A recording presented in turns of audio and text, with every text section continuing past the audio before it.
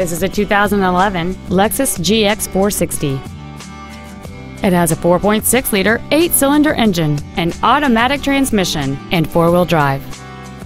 Its top features include a navigation system, a heated steering wheel, a power sunroof, heated front seats, alloy wheels, and high-intensity discharge headlights.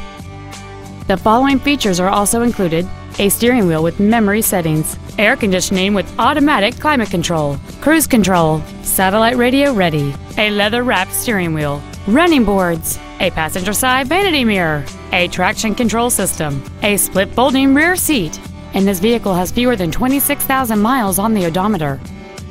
This Lexus has had only one owner, and it qualifies for the Carfax buyback guarantee.